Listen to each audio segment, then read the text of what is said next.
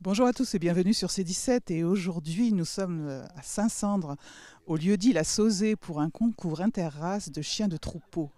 Alors un événement euh, spectaculaire et à mes côtés j'ai le président de l'ATA, euh, c'est-à-dire les amis du troupeau de l'ONIS, et son trésorier ainsi que Laurent, éleveur de moutons. Bonjour à tous les trois, vous, allez nous expliquer exact, exactement de quoi il s'agit. Allez, on commence par Laurent. Ben, il s'agit d'un concours euh, d'interrace de chiens qui m'a été proposé avec euh, l'ATA, euh, qui n'avait pas de terrain, pas de, pas de, pas de moutons. Donc voilà, on s'est mis en, en, on s'est communiqué ensemble pour pouvoir faire ce, concours interrace avec l'association Ephéros. Alors de toute façon, on a Alain Mhm. Alain, le président, euh, on a combien de concurrents? Une trentaine, je pense. Non, nous avons le, premier jour, nous avons 18 concurrents. Et le deuxième jour, le, classe 3, les, classes supérieures, si vous voulez, il n'y en a que 16. Voilà. Euh, le premier jour, il y a, ça se situe, euh, le premier jour se situe avec, avec une, la classe 1, ce sont des chiens débutants. Qui, et la classe 2, ce sont des chiens qui sont au, comment dire, euh, voilà, qui, peuvent se sélectionner pour être en classe 3. En classe 3, ce sont des gens qui, sont, euh, qui passent pour être sélectifs au championnat de France. Voilà. Voilà, en, vue du championnat de France, donc il y a trois catégories, euh, monsieur Alain, numéro 2. Oui, trois catégories. Voilà, la 1, la 2 et la 3.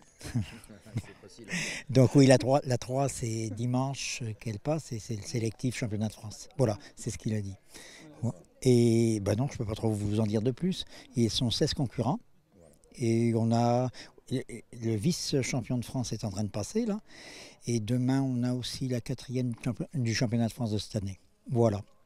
C'est très important. Laurent, alors, vous pouvez me parler du, de la simulation que, qui va se passer là, avec les moutons? plus facile pour lui de vous expliquer sortir du parc et après un petit peu le parcours où même l'autre Alain va vous expliquer mieux que moi. Alors, vous voulez savoir quoi euh, le, parcours à peu près Donc, euh, le, conducteur avec son chien sort les brebis d'un parc. il, y a, un certain nombre de brebis. Pour, il y a plusieurs parcs et il y a le même nombre de brebis dans tous les parcs. Le concurrent sort les brebis d'un parc. Il y a un cheminement. Il faut sortir les brebis du parc. On fait un cheminement.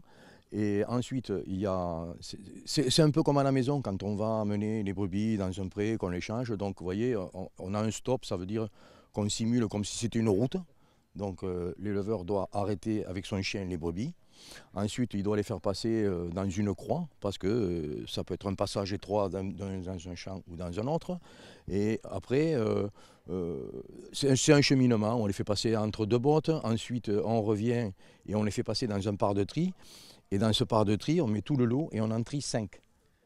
Ils vont en trier cinq. Et avec ces cinq, ils vont faire encore un cheminement ils vont faire encore un petit parcours avec ses seins et c'est après il va rejoindre les brebis qui sont restées dans le parc et il continue son parcours avec tout le lot complet.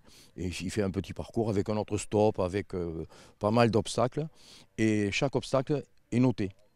Alors le juge lui détermine les points par obstacle. Il peut y avoir 8 euh, points pour un stop, 10 points pour euh, une amenée. Oui, c'est ça. Voilà, voilà. Et c'est sur un total de 100 points.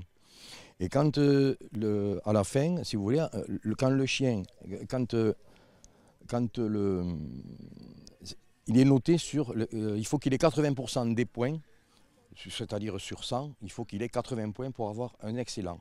Et il faut qu'il ait deux excellents, avec deux juges différents, c'est-à-dire sur deux concours différents, pour passer en classe supérieure. Alors c'est pareil pour les classes 1, classe 2 et, et classe 2, parce qu'après, les classes 3, c'est le sélectif pour le championnat de France. Voilà, donc on arrive à la fin au championnat de France. Et c'est sur deux jours. Mais sur deux jours. Aussi. Merci, Alain. Merci à vous. Merci Alain, le trésorier, et merci euh, l'éleveur de moutons. Voilà, à bientôt, à bientôt sur C17 et toujours en direct. Ça ira. Après vous rectifiez.